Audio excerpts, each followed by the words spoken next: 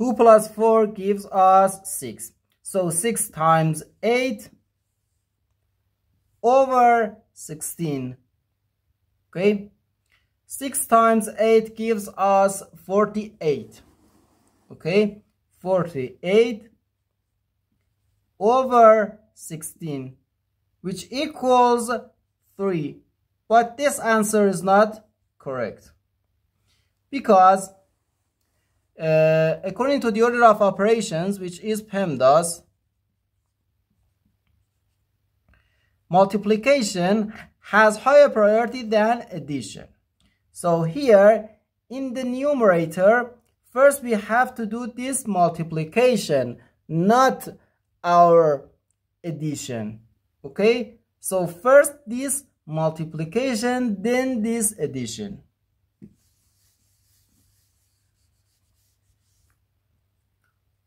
Times eight gives us uh, 32 so we have 2 plus 32 over 16 now 2 plus 32 gives us 34 so 34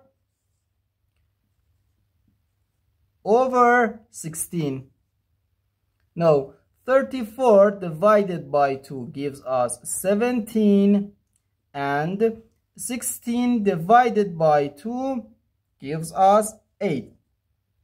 So we have 17 over 8. Now we can convert this uh, improper fraction to a mixed number. 17 can be written as 16 plus 1 over 8. 16 divided by 8 gives us 2. So 2 and 1 over 8. And this is our final answer to this problem.